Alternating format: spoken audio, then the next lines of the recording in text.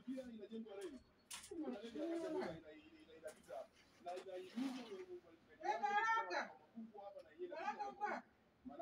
Yake nini?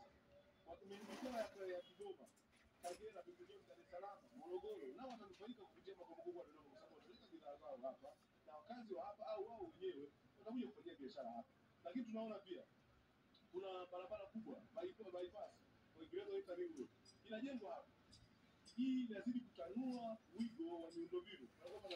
Na kisasa, urahisi wa usa- wa usafiri na usafirishaji. Dodoma ya sasa na miaka kumi kumi na tano iliyopita ni tofauti sana. Hapa tunaona mabadiliko. Sasa tunafikiria ni vipi ikija hiyo miundombinu mingine, Dodoma itakuwaje? Tunaona kabisa Dodoma itakuwa ya kisasa na watu wa Dodoma watanufaika sana. Lakini pia tutatanua ushindani wa kibiashara, watu wa Dodoma, watu wa Dar es Salaam, ya Baraka, mbona nakuona kwenye TV? Ulikuwa unaongea lini huko kwenye TV? watu watahitaji na wenyewe mtu asipate Eh, shida. Kwenda mbali kupata biashara, kupata- kupata kupata biashara. Hiyo itatanua ushindani wa kibiashara. Na ushindani huo wa kibiashara ndio unaoleta maendeleo kwa watu wa kwa sababu bidhaa zitakuwa nyingi, zitapatikana kwa bei rafiki, kwa sababu kutakuwa kuna soko huru, kwamba soko huru, soko huria, kila mmoja ata- ata- ata- ata- ata- atauza kulingana na faida anayoipata kulingana na kule alikochukulia. Kwa kutokuwa kuna vitu, kutokuwa kuna mwingiliano wa biashara na vitu kama hivyo, lakini huduma huduma za jamii zitaongezeka, huduma za jamii zitaongezeka. Sasa hivi tunatumia uwanja mdogo wa ndege kuzungumza, ukijenga uwanja ule, maanake itatanua huduma, ndege nyingi zitatua, lakini pia hapa. Hapa tuna safari kubwa uje umuone Baraka. lakini kuja makao makuu hapa, zipo hospitali nyingine nyingi zitajengwa zita- zitajengwa hapa. Tunaona unasafiri kwenda mbali, kwenda pale. Umevaa t-shirt yako ya nani? Na hapa bado tuna- tuna- tuna- tuna hospitali, lakini kwa kuja makao makuu hapa bado bado watakuja. Na ikumbuke pia kwamba Dodoma ni katikati. Ah, kuna swala lingine la ujenzi wa serikali, ujenzi wa ofisi za serikali eneo eneo eneo eneo la Mtumba. Jambo hili ni la msingi sana, kwanza kiusalama.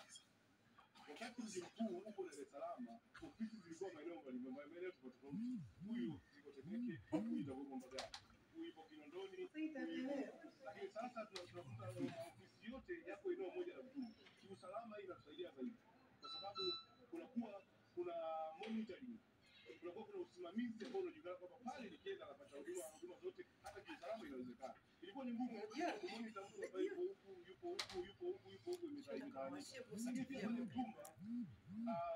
wali- wa- viongozi wetu walichagua wale ambao ni pembezoni, lakini na kule ndio kufungua fursa za kibiashara kwa sababu kule kuna kutakuwa kuna mamantilie, mamalishe, watu watajenga hoteli na vitu kama hivyo, lakini barabara za kule zitafikika kwa urahisi. Maanake na yenyewe inazidi kufungua fursa za kibiashara, inatuimarishia ulinzi, lakini pia ni eneo pia la kiutalii, inafungua fursa za kiutalii. Tumezoea kuona utalii wa wanyama, hapana. Tuna utalii wa kijiografia, kwamba mtu anahitaji kwenda Mtumba kuangalia ile Mtumba miaka ishirini kumi iliyopita, leo ipoje. Akifika Tanzania utaona majengo ya kisasa, mawizara mbalimbali, vitu kama inafunga pia fursa fursa za utalii. Lakini ah, kuna swala zima la kiutawala. Kiutawala tunazidi kujiimarisha na tunakuwa tumecentralize kwa maana ya kwamba Dodoma kama nilivyosema ni katikati. Maana yake sasa mtu hatahitaji kutoka Kigoma kwenda Dar es Salaam kwa hela nyingi, hatahitaji kutoka Songea, Mbinga kuja Dodoma kwa, kwa, kwa, kwa, pesa nyingi. Hapa anakuja ambapo ni eneo ambalo ni jirani kabisa na katikati mwa Tanzania. Hii inasaidia kwamba eneo hili kiutawala kinakuwa rahisi kuweza kupata huduma kwa kutoka Dodoma. Kipekee nichukue fursa hii kumpongeza sana sana Mama Samia Suluhu Hassan. Vijana wa sasa tunasema, sisi kujitoa kama mimi sio vijana. Vijana wa sasa tunasema ameupiga mwingi na sasa unamwajika. Kwa sababu nje ya kuhamia, yani yeye hajahamia tu Dodoma, bali amejenga makazi hapa, anaimarisha miundombinu hapa na anahakikisha kila kitu kinapatikana kinapatikana hapa. Mama Samia ameupiga mwingi.